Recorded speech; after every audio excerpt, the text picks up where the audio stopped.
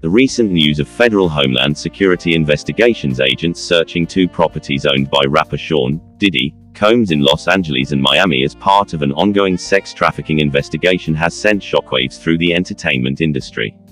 Sean Combs, known by various aliases including Puff Daddy, P. Diddy, and Brother Love, has been a prominent figure in the music industry for decades. Rising to fame in the 1990s, he has produced numerous hit songs and collaborated with some of the biggest names in music. However, behind the glitz and glamour lies a darker side, as Combs faces a series of serious allegations. Several lawsuits have been filed against him in recent months, accusing him of sexual assault and abuse.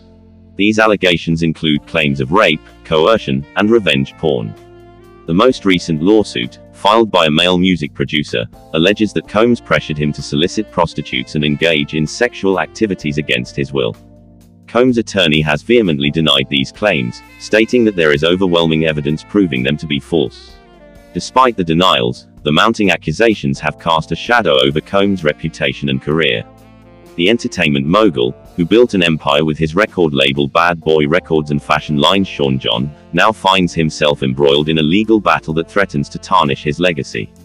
As the investigation unfolds and more details come to light, the future of Sean, Diddy, Combs hangs in the balance.